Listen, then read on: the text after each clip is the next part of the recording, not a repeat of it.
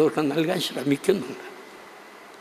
അതുപോലെ അതുകൊണ്ട് ഏതോ ഒരു ആകാശത്തിൽ നിന്ന് പൊട്ടിവിടർന്ന് വീണ ഒരു മഹാജ്യോതിസാണ് തെറ്റിദ്ധരിക്കരുത്. അതിനുവേണ്ടിയാണ് എന്റെ ഈ ക്ലേശപൂർണമായ ജീവിതത്തെക്കുറിച്ച് പറഞ്ഞത്. ഞാനിത് പറയാറില്ല.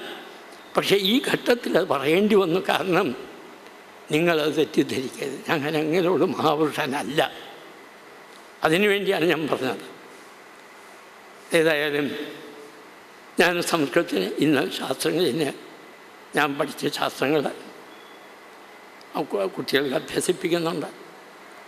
അവരെ എന്നെ ആദരിക്കുന്നുണ്ട്. അതുപോലെ ആണ് ഇപ്പം ഇപ്പോഴും ആ തൃപ്പണത്തറയിൽ എല്ലാ കൊല്ലവും നടന്നു വരാറുള്ള ഒരു ശാസ്ത്ര സദസ്സുണ്ട് വിദ്യന്മാരുടെ സദസ്സ്. അതിനിടയിൽ നിന്നാണ് ഞാൻ ഇങ്ങോട്ട് പോകുന്നത്.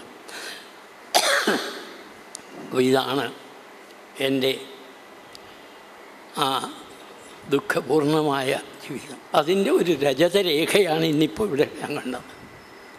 അപ്പോൾ എപ്പോഴും സാധാരണ പറയാണ് ക്ലേശഫലേനഹി പുനർനവതാം വിധത്തെ പാർവതി ശിവനെ പത്നിയായി കിട്ടാൻ വേണ്ടി ഏറെ തപസ് ചെയ്തു കഠിന തപസ്സാണ് ചെയ്തത്. വളരെ പലതരത്തിൽ ശ്രീപരമേശ്വരൻ ബ്രഹ്മചാരി എന്ന് പരീക്ഷിച്ചു. ശിവനെക്കുറിച്ച് ഏറെ നിന്ദിച്ചു. ഈ ശ്രീപരമേശ്വരൻ പരമേശ്വരൻ നിനക്ക് ഭർത്താവ് എങ്ങനെയാകാം പറ്റും. അദ്ദേഹത്തിന് എന്തെങ്കിലും യോഗ്യതയുണ്ടോ? സാധാരണ ഒരു വരനുണ്ടാകേണ്ട ചില യോഗ്യതകളെക്കുറിച്ച് പറയാറുണ്ട്. കന്യാവലയതേ രൂപം മാതാ വിത്തം പിതാ ശ്രുതം ബാന്ധവ കുലമിച്ഛന്തി. മൃഷ്ടന്നമിതരേ ജനാന്നാണ് ഒരു കന്യകയുടെ ദൃഷ്ടിയിൽ ഏറ്റവും പ്രധാനപ്പെട്ട സൗന്ദര്യമാണ്. തന്റെ ഭർത്താവിന് സൗന്ദര്യം ഉണ്ടാകണമെന്ന് എല്ലാ കന്യകമാരും ആഗ്രഹിക്കും തെറ്റില്ല. പക്ഷെ അമ്മ വിചാരിക്കുന്നതോ മാതാ വിത്തം പണമാണ്. മരുവന് പണമുണ്ടോ? സമ്പന്നനാണോ? മകളെ കൊണ്ടുപോയാൽ വേണ്ട വിധത്തിൽ നോക്കുമോ? അതിന് വേണ്ട ചുറ്റുപാടുണ്ടോ? എന്നാണ് അമ്മയുടെ നോട്ടം. ഇന്നും അങ്ങനെ തന്നെ. മാറ്റമൊന്നും വന്നിട്ടില്ല.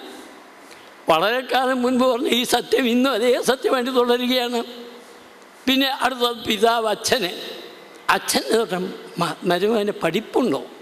ശ്രുതം. പഠിച്ചവനാണോ? വേണ്ട സംസ്കാരമുണ്ടോ? അതാണ് അച്ഛന്റെ നോട്ടം. ബന്ധുക്കൾ വിചാരിക്കുന്നത് ഇയാൾ തറവാടിയാണോ? നല്ല തറവാട്ടിൽ ജനിച്ച ആളാണോ? അതാണ് നോട്ടം.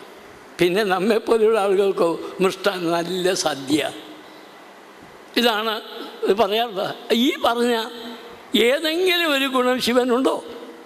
അതാണ് ശ്രീപരമേശ്വരൻ തന്നെ അങ്ങോട്ട് ചോദിക്കുകയാണ്. അദ്ദേഹം വിരൂപാക്ഷനാണ്. ഇപ്പോൾ വിരൂപാക്ഷം. മുക്കണ്ണനാണ്. വിരൂപങ്ങളായ സാധാരണ എല്ലാവർക്കും രണ്ട് കണ്ണേ ഉള്ളൂ. ചെന്നി നെറ്റിയിൽ കൂടി കണ്ണാണ്. അതോ അഗ്നിയാണ് നെറ്റിയിൽ അപ്പോൾ വിരൂപാക്ഷൻ ഇനി തറവാടോ? അതൊന്നുമില്ല ആർക്കും അറിഞ്ഞൂടാ എവിടെ ജനിച്ചു എപ്പോൾ ജനിച്ചു എന്ന് ആർക്കും അറിഞ്ഞൂടാ അപ്പോൾ തറവാടിയത്തെക്കുറിച്ചും പറയാനില്ല. അലക്ഷ്യ ജന്മത. അവിടെ എവിടെ ജനിച്ചു എങ്ങനെ ജനിച്ചു അച്ഛനാര് അമ്മയാര് ആർക്കും അറിഞ്ഞൂടാ നമുക്ക് ഇന്നും അറിഞ്ഞൂടല്ലോ അപ്പോൾ തറവാടിനെ കുറിച്ചും പറയാനില്ല. പക്ഷേ പണമുണ്ടോ? അമ്മയുടെ ദൃഷ്ടിയിൽ അതാണല്ലോ. അത് ദിഗംബരത്വേന നിവേദിതം പശു ദിഗംബരനാണ്. വസ്ത്രം വാങ്ങാൻ പോലും തുണി കാശില്ല. ദിഗംബരനായിട്ട് നടക്കുന്നതാണ് ശ്മശാനത്തിൽ അങ്ങനെ നോക്കുമ്പോൾ ശ്രീ പരമേശ്വരൻ എന്ത് ഗുണം കണ്ടുകൊണ്ടാണ് നീ ഭർത്താവായിട്ട് കിട്ടണമെന്ന് അത് പറഞ്ഞിട്ട് ഒടുവിൽ ഇങ്ങനെ ഒടുവിൽ പറഞ്ഞു. നീ പറഞ്ഞതുപോലെ ആയിക്കൊള്ളട്ടെ അദ്ദേഹം. ഞാൻ നിന്നോട് വാദിക്കാൻ തയ്യാറില്ല. പക്ഷേ എന്റെ മനസ്സവരെ സ്ഥിരമായിട്ട് ഉറച്ചു കഴിഞ്ഞിരിക്കുന്നു. മമത്ര ഭാവൈകരസം മനസ്ഥിതം എന്നാണ് അവിടെ ഉറച്ചു കഴിഞ്ഞു അതിനെ മാറ്റാനാവില്ല. ഇനി ആളുകൾ എന്തും പറയട്ടെ. അത് സാധാരണ കാമവൃത്തിർ വചനീയ മിക്ഷതയിൽ മറ്റുള്ളവരെ നിന്ദയോ സ്തുതിയോ ഒന്നും നോക്കാറില്ല. അവനവന്റെ മനസ്സാണ് പ്രധാന മനസ്സ് ഉറച്ചു കഴിഞ്ഞു. എന്ന് പറഞ്ഞ് നിന്റെ ഈ നിന്ദവചനം ഞാൻ കേൾക്കാൻ തയ്യാറില്ല എന്ന് പറഞ്ഞുകൊണ്ട് അവിടെ നിന്ന് ഇറങ്ങി പോകുമ്പോൾ പരമേശ്വരൻ സ്വന്തം രൂപം കൊണ്ട് കൈക്ക് പിടിക്കുകയാണ്.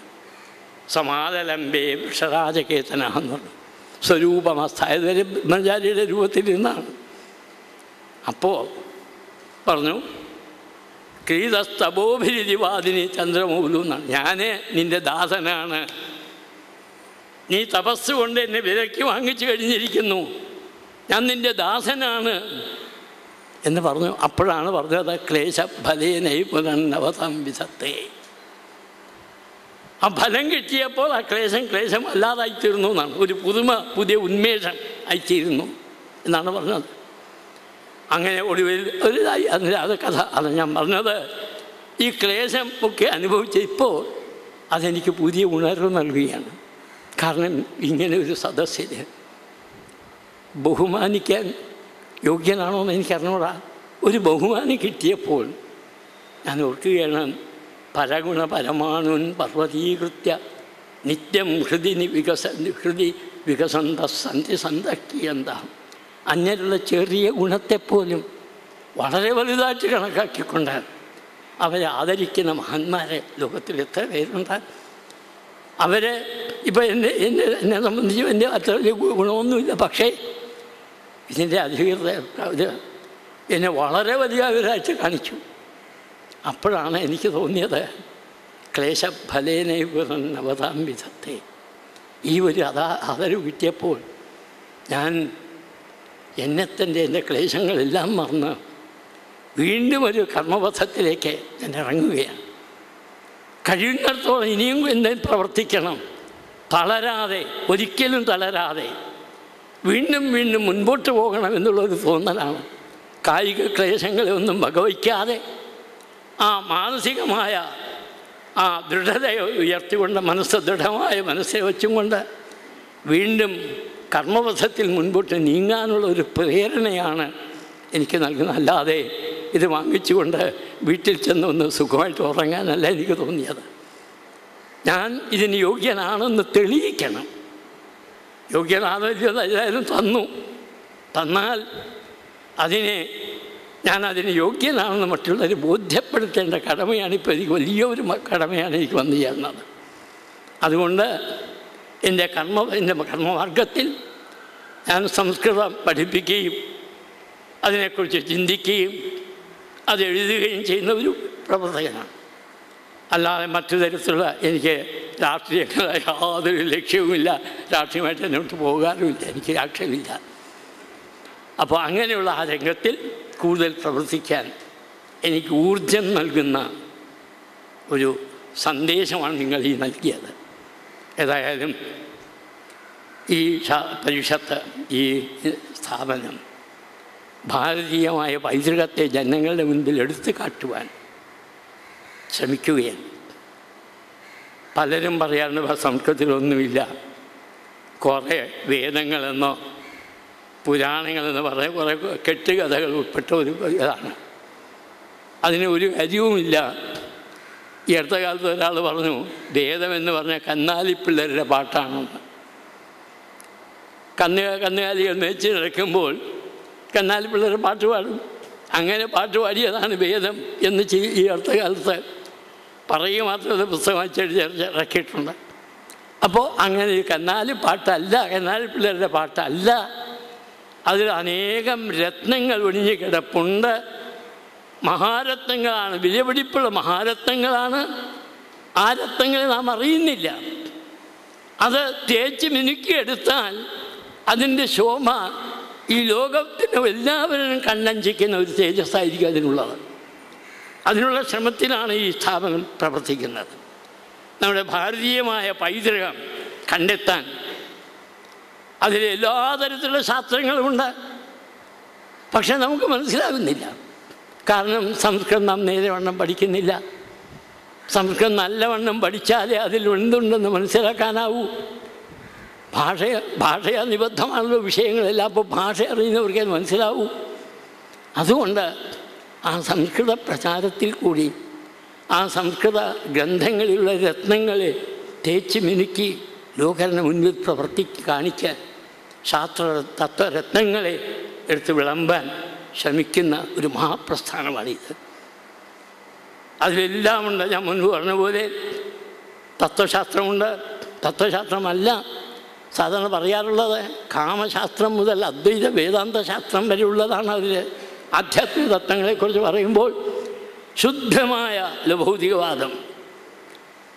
ചാർവാകന്റെ ഭൗതികവാദം മുതൽ അതുപോലെ കാമസൂത്രം മുതൽ കാമശാസ്ത്രം മുതൽ അങ്ങേ അറ്റത്തെ പരമാചാര്യ ശ്രീ അദ്വൈതാചാര്യ ശങ്കരാചാര്യർ വ്യവസ്ഥാപനം ചെയ്ത എല്ലാ തരത്തിലുള്ള അദ്വൈത സിദ്ധാന്തം വരെ എല്ലാം ബ്രഹ്മമാണ്.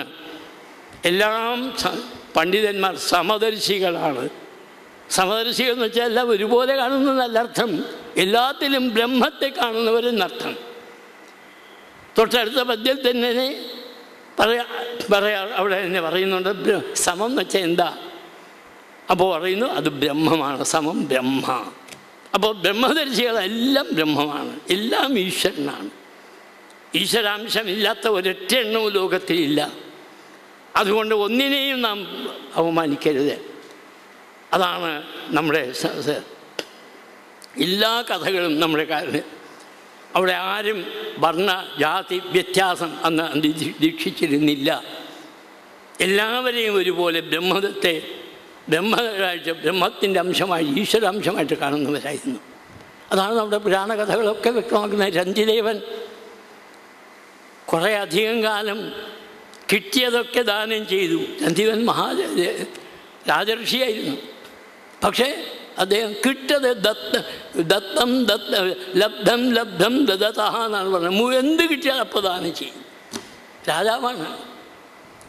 അവ- അവസാനം വന്നപ്പോഴേക്കും അദ്ദേഹത്തിന് ഭക്ഷിക്കാൻ വെള്ളം പോലും ഇല്ലാത്ത അവസ്ഥയായി. വെള്ളം പോലും കുടിക്കാനില്ലാതെ ഏറെക്കാലം നാൽപ്പത്തിയെട്ടെന്നാണ് അഷ്ടാവിംശ അഹാനി എന്നാണ് പറഞ്ഞത്. അഷ്ടചത്വാരിംശത് അഹാനി. നാൽപ്പത്തിയെട്ട് ദിവസം വെള്ളം പോലും കിട്ടാതെ വലഞ്ഞപ്പോഴേ അദ്ദേഹത്തിന് ഇത്തിരി പായസമോ ഇത്തിരി നെയ്യോ ഒക്കെ കിട്ടിയെന്നാണ്. അത് ഭക്ഷിക്കാൻ തുടങ്ങിയപ്പോഴേക്കാണ് ഒരു ബ്രാഹ്മണൻ വരുന്നു എനിക്ക് വിശക്കുന്നേ എനിക്ക് തരൂ. പരിവാരങ്ങൾക്കും തനിക്കുമായിട്ട് കിട്ടിയതാണ് യാദൃശ്യമായിട്ട് കിട്ടിയതാണത്. അപ്പോഴാണ് ബ്രാഹ്മണൻ വന്നത്. പകുതി കൊടുത്തു. ഞാൻ പറഞ്ഞത് അവിടെ ബ്രാഹ്മണർ വാക്കിന് പ്രത്യേക ഉദ്ദേശത്തോടെയാണ് ഞാൻ പറഞ്ഞത്. തൊട്ടടുത്തതായിട്ട് ഒരു ശൂദ്രൻ വരികയാണ്. എനിക്ക് വിശക്കുന്നു എനിക്കെന്തെങ്കിലും തരണമെന്ന്. അപ്പോൾ ബ്രാഹ്മണന് കൊടുത്ത അതേ മനോഭാവത്തോടു കൂടി അതേ ആദരവോടുകൂടി ആ ശൂദ്രനെ പിടിച്ചിരുത്തി അവിടെ കൊടുക്കുകയാണ്. അപ്പോൾ കുറേ ഭാഗങ്ങൾ അത് കഴിഞ്ഞപ്പോഴൊരു ചണ്ടാളൻ പട്ടികളുമായിട്ട് വരികയാണ്. എനിക്കും വിശക്കുന്നു എന്റെ കു- പട്ടികൾ ഇത് ഇവയ്ക്കും വിശക്കുന്നു എന്തെങ്കിലും തരണേ എന്ന്. ബാക്കി ശേഷിച്ചത് അവർക്ക് കൊടുക്കുകയാണ്. ആദരവോടെ അല്ലാതെ അവജ്ഞയോടുകൂടിയല്ല ആ ബ്രാഹ്മണനും ശൂദ്രനും കൊടുത്ത ഏത് മനോഭാവമാണോ അതേ മനോഭാവത്തോടു കൂടി അതാണ് ചെയ്തത്. പിന്നീട് വന്നപ്പോഴേക്ക് കുറച്ച് വെള്ളമാണ് ശേഷിച്ചത്. അപ്പോഴും ഒരാൾ വന്ന് എനിക്ക് വെച്ച് ദാഹിക്കുന്നു. വെള്ളം പോയി. അതുമില്ല. അങ്ങനെ കഷ്ടപ്പെട്ട് ഒടുവിൽ അദ്ദേഹം പറഞ്ഞത് എന്താണ്? അതാണ് ഭാരതീയ സംസ്കാരം. എനിക്ക് അഷ്ടൈശ്വര്യയുക്തമായ സിദ്ധികളൊന്നും എനിക്ക് ആവശ്യമില്ല. എനിക്ക് സ്വർഗവും ആവശ്യമില്ല. നാ കാമയെ അത് കാമയെ ഭഗവത അഷ്ടർത്ഥിയുക്താം അപകർഭവം വാ. പിന്നെ എന്താ എനിക്ക് വേണ്ടത് പറഞ്ഞു അദ്ദേഹം പറഞ്ഞു അത് ഞാൻ എല്ലാ ജീവജാലങ്ങളുടെയും ഉള്ളിൽ കയറി പ്രപദ്യേ അഖില ജീവഭാജാം അന്തസ്ഥിത അവരുടെ എല്ലാം ഉള്ളിൽ നിന്നുകൊണ്ട് അവരുടെ ദുഃഖം എനിക്ക് വേണം. അപ്പോൾ അവരുടെ ദുഃഖം ഞാൻ ഏറ്റുവാങ്ങിയാൽ അത് അവർ അദുഃഖരായിത്തീരും ഭവന്തി അദുഃഖ അപ്പോൾ എല്ലാവരുടെയും ദുഃഖം ഞാൻ ഏറ്റുവാങ്ങാം. അങ്ങനെ എല്ലാവരെയും ഞാൻ ദുഃഖമില്ലാത്തവരാക്കാം. എന്ന് പറഞ്ഞ ഒരു പാരമ്പര്യമാണ് നമ്മുടേത്. അവിടെ ബ്രാഹ്മണനും ശൂദ്രനും ചണ്ടാളനും എല്ലാം ഒരുപോലെയാണ്. യാതൊരു വ്യത്യാസവുമില്ല. അപ്പോൾ ആ ഒരു പാരമ്പര്യം ആ ഒരു സംസ്കാരം അതാണ് ഭാരതീയ സംസ്കാരം. ആ ആ വശങ്ങളൊക്കെ മറക്കുന്നു. മറന്ന് മറ്റെന്തൊക്കെയോ ചിന്തിക്കുന്നു. അപ്പോൾ ഇതൊക്കെ ചാതുർ പറഞ്ഞു എന്നൊക്കെ പറഞ്ഞ ആളുകളെ കൽപ്പിക്കുകയാണ് ഗീതയിൽ പറഞ്ഞിട്ട് ചാതുർവർണ്യം ആ അത് മാത്രമേ പറഞ്ഞ. അപ്പുറം പറയില്ല. അപ്പുറം എന്തുകൊണ്ട് ഈ ചാതുർവർണ്യം ഉണ്ടായി എന്ന് പറയും? ഗുണകർമ്മ വിഭാസം അത് പറയില്ല ചാതുർവർണ്യം മയാസട്ട അപ്പോൾ ഭഗവാൻ തന്നെ പറഞ്ഞു ഞാൻ ഉണ്ടാക്കിയതാണ്. കണ്ടോ? ഉച്ചനീച ഭാവങ്ങൾ ഭഗവാൻ അപ്പോൾ അങ്ങനെയുള്ള ഈശ്വരൻ നമുക്ക് വേണോ? എന്നാണ് അവരാവശ്യപ്പെടുന്നത് ഇതുപോലെ ആളുകൾ തെറ്റിദ്ധരിപ്പിക്കുക അതുപോലെ മറ്റൊന്നുണ്ട്. സ്ത്രീ സ്വാതന്ത്ര്യമർഹതി എന്ന് മനു പറഞ്ഞു എന്നാണ്. ന സ്ത്രീ സ്വാതന്ത്ര്യമർഹതി അത് മുഴുവൻ പറയില്ല. ആ വരി മാത്രമേ പറയൂ. ഈ മനു ആരെ? അത് നോക്കണം. എത്ര നാര്യസ്തു പൂജ്യന്തേ രമന്തേ തത്ര ദേവതാഹ. എത്ര ഈതാത്ത് വിശോചന്തി വിനശ്യത്യാശുതത്കുലം എന്ന് പറഞ്ഞ മനുവാണ്. എവിടെയാണോ സ്ത്രീകളെ നാം ബഹുമാനിക്കുന്നത് അവരെ പൂജിക്കുന്നത് അവിടെ എല്ലാ ദേവന്മാരും സന്തോഷിക്കുന്ന ആ സ്ത്രീകളെ നാം ദുഃഖിക്കുക അവർ ദുഃഖിക്കുവാൻ കണ്ണീർ വീഴ്ത്താൻ ഇട വന്നാൽ വിനശത്യാശു തത്കുലം. ആ കുലം അപ്പം നശിക്കും എന്നാണ്. അപ്പം അങ്ങനെ പറഞ്ഞ ഒരു മനു നസ്ത്രീ സ്വാതന്ത്ര്യപരിചയം പറയുമോ? തീർച്ചയായും പറയില്ല. സ്ത്രീയെ അടുക്കളയ്ക്കകത്ത് കെട്ടിയിടണം പുറത്തേക്ക് വിടരുന്നത് ഒരിക്കലും പറയില്ല. അപ്പോൾ അതിന്റെ അർത്ഥം വേറെയാണ്. അത് മനസ്സിലാക്കാൻ സാധിക്കുന്നില്ല. പിതാരക്ഷതി കൗമാരെ ഭർത്താ രക്ഷതി യൗവനെ പുത്രോ രക്ഷതി വാർദ്ധക്യേ ന സ്ത്രീ സ്വാതന്ത്ര്യമർഹതി അവൾ സുരക്ഷിതയാണ്. അവൾ സാന്ത്വന്യത്വം കാണിക്കാനുള്ളവളല്ല. സ്വാതന്ത്ര്യം സാന്ത്വന്യത്വം നല്ലത് അവൾക്ക് സ്വാതന്ത്ര്യത്തെ ആർക്കും ഇതില്ല കാരണം സുരക്ഷിതയാണ്. ബാല്യത്തിലും യൗവനത്തിലും വാർദ്ധക്യത്തിലും ബാല്യത്തിൽ അച്ഛനമ്മമാർ രക്ഷിക്കുന്നു. യൗവനമാകുമ്പോൾ ഭർത്താവ് രക്ഷിക്കാനുണ്ട്. വാർദ്ധക്യമാകുമ്പോൾ പുത്രന്മാർ രക്ഷിക്കാനുണ്ട്. പിന്നെ എന്തിനവൾ താന്തോന്യായിട്ട് നടക്കണം. ഇതാണ് പക്ഷേ ഇതൊന്നും ചിന്തിക്കാറില്ല ആളുകൾ അപ്പോൾ നമ്മുടെ പൈതൃകം മനസ്സിലാക്കാൻ ശരിയായിട്ട് മനസ്സിലാക്കാൻ സംസ്കൃതം പഠിക്കുക. അപ്പോൾ അതോടൊപ്പം ഇതുപോലെയുള്ള ഗോപാലകൃഷ്ണൻ ആ വഴിക്ക് വളരെയധികം പ്രവർത്തിക്കുന്നുണ്ട്. നമ്മുടെ ഈ വേദങ്ങളിലും പുരാണങ്ങളിലും ഉള്ള ആ ശാസ്ത്രരത്ന തത്വങ്ങളെ രത്നങ്ങളെ തേച്ചുമിനിക്ക് നിങ്ങൾക്ക് മുൻപിൽ പ്രകാശിപ്പിക്കുകയാണ്. തീർച്ചയായും അദ്ദേഹം അഭിനന്ദനം അർഹിക്കുന്നു. തീർച്ചയായും അടുത്ത തലമുറ അദ്ദേഹത്തെ സ്മരിക്കും ആദരോടെ സ്മരിക്കും. അതാണ് സാധാരണ ഒരു കഥ പറയാറുണ്ട്. ഒരു പിച്ചക്കാരനാണ്. അയാളിങ്ങനെ ഒരു ഭാണ്ഡവുമായിട്ട് ഇങ്ങനെ എന്നും പിച്ച നടക്കാൻ പോകും. കുറേ കഴിഞ്ഞപ്പോൾ അയാൾ വയസ്സനായി അപ്പോൾ ഒരു കൊച്ചു പയ്യൻ വന്നു. അദ്ദേഹത്തെ സഹായിക്കാൻ ആ പയ്യനുമായിട്ടാണ് പിച്ച തന്നെ നടക്കുകയാണ്. അത് കഴിഞ്ഞ് അച്ഛ അദ്ദേഹം മരിച്ചു. ആ വയസ്സൻ മരിച്ചു. ഇയാൾ ആ ഭാണ്ഡവും കയറ്റെടുക്കുകയാണ് ഭാണ്ഡം ഏറ്റെടുത്ത് ഇയാൾ അതുവരെ തുറന്നു നോക്കിയിട്ടില്ല. അതിനെ എന്താണെന്ന് നോക്കിയിട്ടില്ല. എനിക്ക് പാരമ്പര്യമായിട്ട് കിട്ടിയതാണ് ഭാണ്ഡമായിരിക്കട്ടെ അങ്ങനെ നടന്നു പോകുമ്പോഴാണ് ഒരു ദിവസം ഒരു ആരും ചുവട്ടിൽ അദ്ദേഹം അത് വിശ്വസിക്കുന്നു. അവിടെ മൂന്നാൽ യു- യുവാക്കളുണ്ട്. അയാൾ പറഞ്ഞു എന്തുള്ളോ തന്റെ ഈ- പോക്കണത്ത് എന്തുണ്ട്? അയ്യോ അത് തുറക്കരുതേ. അതെന്റെ അപ്പൂപ്പൻ തന്നതാണ്. അത് അതുപോലെ പൂജിക്കാനുള്ളതാണ്. അത് തുറക്കരുതേ. ഇവർ പിടിച്ചു വരിച്ച് ഇതാക്കി. നോക്കിയപ്പോൾ അതിനകത്ത് രത്നങ്ങളാണ്. ഈ രത്നങ്ങൾ കൊണ്ടാണ് അയാൾ എന്താണെന്ന് അറിയാതെ കൊണ്ടുകടന്ന് തെണ്ടിയത്. മഹത്തായ വിലപിടിപ്പിയ രത്നങ്ങളാണ് അതിനകത്തുണ്ടായിരുന്നത് എന്ന് പറയാറുണ്ട്. അതുപോലെയാണ് നാം പുസ്തകങ്ങളെ വേദങ്ങളെയൊക്കെ അങ്ങനെ പൂജിക്കും. അതായ പൂജിക്കാനുള്ളതാണ് എന്റെ അർത്ഥം. ആരും ചോദിച്ചരുത് അതിന്റെ എന്തുവെന്നൊക്കെ പറയരുത്. അത് നമുക്ക് പൂജ വയ്ക്കാം. എന്ന് പറഞ്ഞുകൊണ്ട് നാം അത് തുറന്നു നോക്കിയില്ല. അത് തത്തമ്മയെ പൂച്ച പൂച്ച എന്ന് പറഞ്ഞതുപോലെ അത് ഏറ്റുപാടിക്കൊണ്ട് നടന്നു. പക്ഷേ ഇപ്പോൾ കണ്ണ് തുറക്കാൻ തുടങ്ങിയിട്ടുണ്ട്. ആ ഗ്രന്ഥങ്ങൾ മനസ്സിലാക്കി അതിലെന്തുണ്ട്? നമ്മുടെ രത്നങ്ങളൊക്കെയാണ് എത്ര വിലവിളിയുണ്ട് അതിൽ എന്ന് മനസ്സിലാക്കാനുള്ള ഒരു സംരംഭമാണ് ശ്രീ ഗോപാലകൃഷ്ണൻ നിർവഹിക്കുന്നത്. അതിലെല്ലാം തീർച്ചയായും അഭിനന്ദനം അർഹിക്കുന്നു എല്ലാവരുടെയും പ്രോത്സാഹനവും അദ്ദേഹത്തിന് ലഭിക്കണം. അതെല്ലാം നിങ്ങൾ പ്രചരിപ്പിക്കുകയും വേണം. നിങ്ങൾ കേട്ടാൽ പോരാ. നിങ്ങൾ അടുത്ത തലമുറയ്ക്ക് പകർന്നു കൊടുക്കണം. അങ്ങനെ പറഞ്ഞു കൊടുത്താൽ ഈ സ്ഥാപനത്തിന്റെ ഉദ്ദേശ ലക്ഷ്യങ്ങൾ നിറവേറ്റപ്പെടും. ഭാരതീയ പൈതൃകം മനസ്സിലാക്കാനാണ്. ശാസ്ത്ര പൈതൃകം മനസ്സിലാക്കാനാണ്. അത് എല്ലാം സഹായിക്കണം. ഏതായാലും എന്നെ ഇവിടെ ഒലിച്ചു കൊണ്ടുവന്ന് ആദരിക്കുകയും എനിക്ക് രണ്ട് വാക്ക് അവസരം നടക്കാൻ പറയാനുള്ള അവസരം നൽകുകയും ചെയ്ത ഈ സ്ഥാപനത്തിന്റെ ഭാരവാഹികളോട് എനിക്കുള്ള ഹൃദയംഗമമായ ധന്യവാദം ഞാൻ അറിയിക്കുന്നു. ഇത്രയും സമയം എന്റെ ഈ ബോറത്തരം കേട്ടുകൊണ്ടിരുന്ന നിങ്ങൾക്കും എന്റെ അഭിനന്ദനമാണ്. നിങ്ങൾ ഇത്രയും സഹിച്ചല്ലോ. അപ്പോൾ സഹി സഹിഷ്ണുത പേഷ്യൻസ് നിങ്ങൾക്കുണ്ട്. ക്ലേശം എന്ന് പറഞ്ഞാൽ നിങ്ങളത് സഹിക്കും. അതുകൊണ്ട് ആ സഹിഷ്ണുതയിന് മുമ്പിൽ നല്ല കനവുലിച്ചുകൊണ്ട് നമസ്കരിച്ചുകൊണ്ട് നിങ്ങളെല്ലാം ഞാൻ നമസ്കരിക്കുന്നു. നിങ്ങളുടെ അനുഗ്രഹാശിസ്സുകൾ എനിക്കുണ്ടാകണേ എന്ന് പ്രാർത്ഥിക്കുന്നു. നന്ദി നമസ്കാരം. സംഭവജ്ഞനായ വാസുദേവം പൂറ്റിസാറിന്റെ സന്ദേശങ്ങൾ എന്നുമെന്നും ആവേശകരമായിരുന്നു. ആവേശകരമാണ് എന്ന് മാത്രമല്ല ഒരു മാസം ഒരു മാസം മുമ്പ്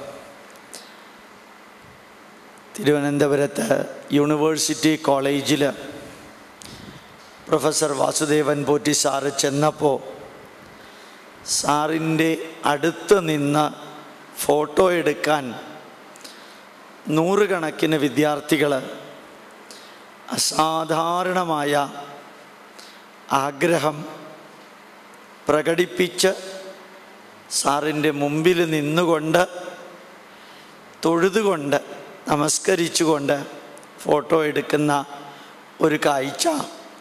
ആരാധ്യനായ ഡോക്ടർ ഉണ്ണികൃഷ്ണൻ സാറിന്റെ ധർമ്മപത്നി അവിടെ നിന്ന് കണ്ടത് ഞങ്ങളെ അറിയിക്കുകയുണ്ടായി.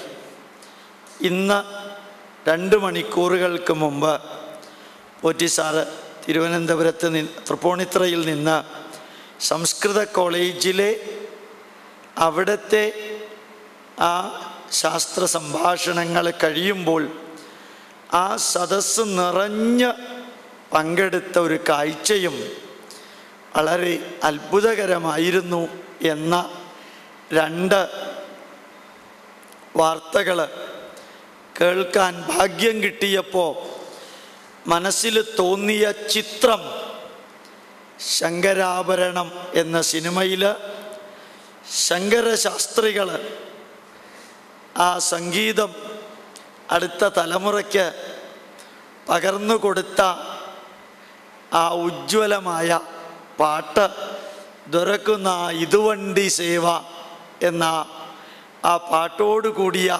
അദ്ദേഹത്തിന്റെ കച്ചേരി നല്ല രസമായിട്ട് അന്ന് തോന്നി. സംഗീതം ഉയർന്നു നിന്നു. പിന്നെ താഴ്ന്ന് താഴ്ന്ന് താഴ്ന്ന് താഴ്ന്ന് ആർക്കും വേണ്ടാത്ത അവസ്ഥയിൽ നിന്ന് വീണ്ടും ഉയർന്നു. അതാണ് സംസ്കൃതത്തിന് സംഭവിക്കുന്നത്. ആർക്കും വേണ്ടാതിരുന്ന സംസ്കൃതം ഇന്ന് എല്ലാവർക്കും വേണം. തിരുവനന്തപുരത്തെ യൂണിവേഴ്സിറ്റി കോളേജിൽ തൊള്ളായിരത്തി മുപ്പത്തി നാല് വിദ്യാർത്ഥികളും അൻപത്തെട്ട് അധ്യാപകരുമുണ്ടെങ്കിൽ തൊള്ളായിരത്തി മുപ്പത്തി നാല് വിദ്യാർത്ഥികളും എസ് എഫ് ഐ ആണ്. അൻപത്തെട്ട് അധ്യാപകരും സി പി എം ആണ്. അതിൽ അടിച്ചു വാരുന്ന അമ്മച്ചി ഉൾപ്പെടെ സി പി എം ആ. അവർക്ക് സാറിന്റെ അടുത്തിരുന്ന് ഫോട്ടോ എടുക്കണമെന്നും നമസ്കരിക്കണമെന്നും അനുഗ്രഹം വാങ്ങിക്കണമെന്നും തോന്നിയിട്ടുണ്ടെങ്കിൽ നിറഞ്ഞ ഹൃദയത്തോടുകൂടി പറയുന്നു ഈ നാട് നന്നാവാതിരിക്കില്ല. ഉറപ്പാണ്. അതുകൊണ്ട് ആരാധ്യനായ പോറ്റിസാറിന് നിറഞ്ഞ ഹൃദയത്തോടു കൂടി ഇവിടെ വന്ന് ഞങ്ങളുടെ ഈ ചെറിയ പത്രിക സ്വീകരിച്ചതിനും അത് കൊടുക്കാൻ ഇവിടെ എത്തിയ സംപൂജ്യനായ ജനങ്ങളുടെ ഹൃദയത്തിൽ ജീവിക്കുന്ന ഡോക്ടർ പത്മകുമാർ സാറിനും അതേപോലെ ഇന്ത്യൻ ഇൻസ്റ്റിറ്റ്യൂട്ട് ഓഫ് സയന്റിഫിക് ഹെറിറ്റേജിന്റെ നാഷണൽ ഹെറിറ്റേജ് സെന്ററിന്റെ director doctor K Haridasan Pillai സാറിനും അതിന് സാക്ഷ്യം വഹിച്ച സാക്ഷ്യം വഹിച്ച നിങ്ങൾക്കെല്ലാവർക്കും നിറഞ്ഞ ഹൃദയത്തോടു കൂടി പ്രണാമം അർപ്പിക്കുന്നു. നമസ്കാരം.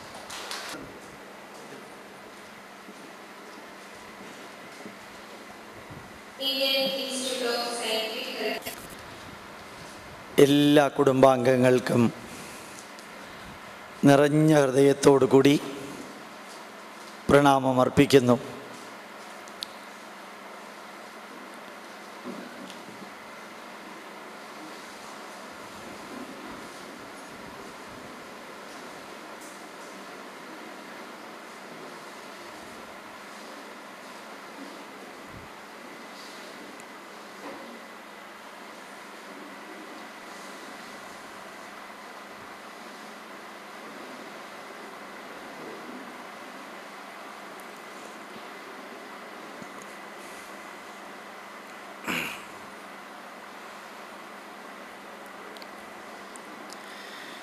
രണ്ട് ദിവസങ്ങൾക്ക് മുമ്പ് അയ്യപ്പ സത്രത്തിൽ ഒരു പ്രഭാഷണം നടത്താനുള്ള ഭാഗ്യമുണ്ടായി. വളരെ വലിയ ഒരു സദസ്സ് ആയിരുന്നതുകൊണ്ട് ഞാൻ സംസാരിച്ചിരുന്ന മൈക്ക് ചില സംസ്കൃത ശ്ലോകങ്ങൾ വേദമന്ത്രങ്ങൾ ഉറക്കെ പറയുമ്പോൾ മൈക്ക് കൈകാര്യം ചെയ്യുന്ന ആൾ പുറകിൽ നിന്നത് ചെറുതാക്കും. ഞാൻ സംസ്കൃതം നിർത്തിക്കഴിയുമ്പോൾ അത് വലുതാക്കില്ല.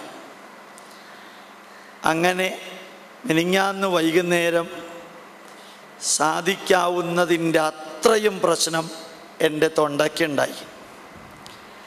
ഇന്നലെ വൈകുന്നേരം തിരുവല്ലയ്ക്കടുത്ത് ദേവി മഹാത്മ്യം പത്തയ്യായിരം പേര് പങ്കെടുത്തൊരു സദസ്സിൽ പദാനുപദം ഇങ്ങനെ നമ്മുടെ പൈതൃകം പഠിപ്പിച്ച സദസ്സ് ഇങ്ങനെ ശാന്തമായിട്ടിരിക്കുമ്പോൾ ഈ മൈക്ക് ഓപ്പറേറ്റ് ചെയ്യുന്ന ആൾ ഇടയ്ക്ക് ഉറങ്ങും അപ്പം അയാൾ ചെറുതാക്കും.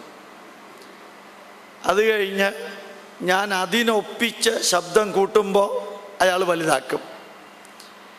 അതുകൊണ്ട് ചിലപ്പോൾ എന്റെ ശബ്ദം ഇന്ന് ഇവിടെ പ്രഭാഷണം നടത്തുമ്പോൾ ഒരല്പം അബ്നോർമലായിട്ട് തോന്നുന്നുണ്ടെങ്കിൽ എന്റെ കുഴപ്പമല്ല ആലപ്പുഴക്കാരുടെ കുഴപ്പമാണ് ഇന്നലെ മിനിങ്ങാന്നും ഈ മൈക്ക് മാറ്റിയതിന്റെ.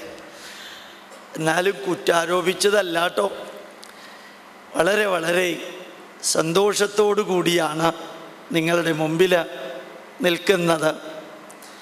നാല് ദിവസങ്ങളായി ഇന്ത്യൻ ഇൻസ്റ്റിറ്റ്യൂട്ട് ഓഫ് സയന്റിഫിക് ഹെറിറ്റേജിന്റെ ശാസ്ത്ര രണ്ടായിരത്തി എട്ട് ഒമ്പതാം വാർഷിക സമ്മേളനം ഭംഗിയായിട്ട് പര്യവസാനിക്കുമ്പോൾ നാല് സ്ഥലങ്ങളിലായി ഈ വർഷം നടന്ന മറ്റ് ഒരു സംഘടനയിലും ഇപ്രകാരം നടത്താൻ ധൈര്യപ്പെടാത്ത വിധത്തിൽ തുറവൂര് ചേർത്തല ഹരിപ്പാട് അതിന്റെ അടുത്തുള്ള ഒന്ന് രണ്ട് സ്ഥലം മാവേലിക്കര തിരുവല്ല പിന്നെ ആലപ്പുഴ. ഇത്രയും സ്ഥലങ്ങളിലായി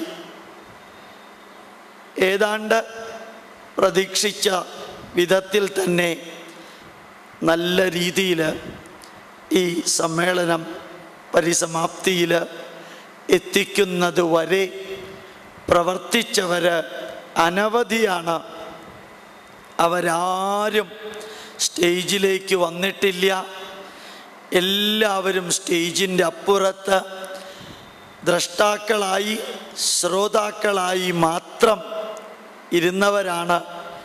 പിന്നെ ബാക്കി എല്ലാ കാര്യങ്ങളും സംയോജിപ്പിക്കുകയും ചെയ്തവർ ഒരു ബാഡ്ജ് വയ്ക്കാനോ അല്ലെങ്കിൽ ബൊക്കെ വാങ്ങിക്കാനോ കൊടുക്കാനോ അതല്ലെങ്കിൽ സ്റ്റേജിൽ വന്ന് തെക്കോട്ടും വടക്കാനും വടക്കോട്ടും നടക്കാനോ അധ്യക്ഷന്റെ കൂട്ടത്തിലോ അല്ലെങ്കിൽ പ്രധാനപ്പെട്ട ഉദ്ഘാടകന്റെ മുഖ്യാതിഥിയുടെ കൂട്ടത്തിലോ ഇരിക്കാനോ ഒന്നും ശ്രമിക്കാതെ ഈ രാഷ്ട്രത്തിന്റെ നന്മയ്ക്കു വേണ്ടി പ്രവർത്തിക്കണം എന്ന് പ്രവർത്തിച്ച് കാണിച്ചു കൊടുത്ത് ചെയ്യുന്ന പ്രവർത്തിക്ക് തിരിച്ച് ഒരു റിവാർഡും പ്രതീക്ഷിക്കാതെ കർമ്മം ചെയ്ത ധാരാളം പേരുണ്ട്.